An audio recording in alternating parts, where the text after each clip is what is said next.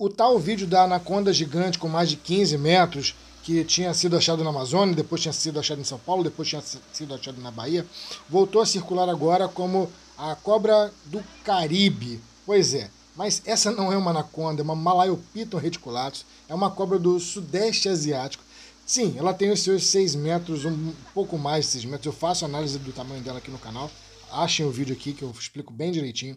Mas não, ela não é uma anaconda. E como que pode ser achada no Caribe se essa cobra não tem no Caribe? Procurei informações sobre uma possível invasão, não encontrei nada. Além do mais, esse vídeo é antigo, já quase que datando da época do Orkut. E ninguém nem sabe se essa cobra é a mesma que estava na draga, que está entrando no carrinho aí, na malinha. E aí toda hora vem uma montagem diferente dizendo que essa cobra é de determinado lugar, mas saiba que essa é uma espécie do sudeste asiático, a Malaiopiton reticulatus, a maior cobra do mundo. Ponto final.